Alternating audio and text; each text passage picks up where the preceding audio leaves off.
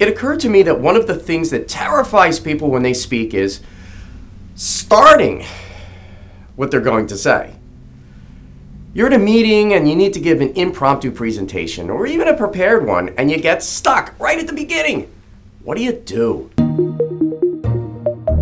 Hi, I'm Bryan Toder, the No Fear Guy, and I'm here with a great speaking tip on how to start a talk. First, this isn't for a truly prepared talk, like a keynote speech. That, you should really know what you're going to say.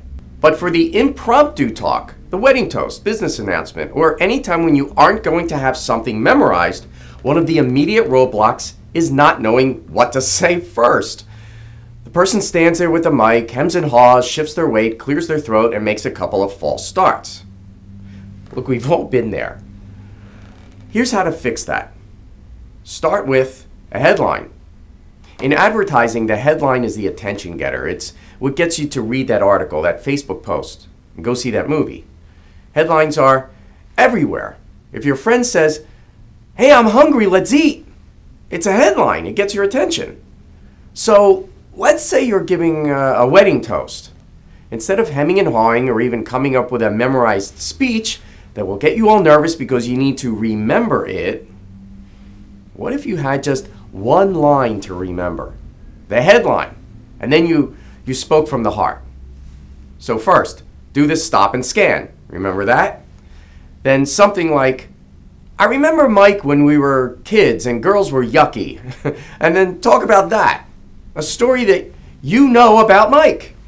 Or let's say you need to give a short presentation to the boss and the coworkers. And instead of saying, thanks, the prospect for this looks great, but if we improve the production quality of the Framazams, which is how most people talk, start with a headline. Maybe, I have in my hand the one thing that we need for the coming year to increase revenue by 50%.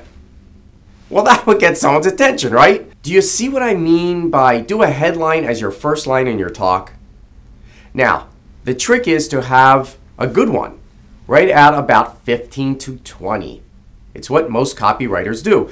No one just writes one headline and sticks with it. Make 15 to 20 and then choose just one, a good one.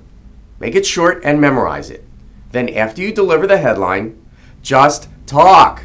Talk like you're talking on the phone. Just talk about what you know. If you know the bride and groom, just talk about them. Do you need a memorized speech to talk about your best friend and his new wife? Probably not. If you know your topic and you're delivering information to the boss, just talk. People like that. It's a great communication style. I'm Bryan Toder, the No Fear Guy. What do you think? Tell me in the comment box below, and we'll meet again on the next Fearless Friday. On Fearless Friday, expect to find fresh, new content on how you can reduce your fears in business, public speaking, selling, and life.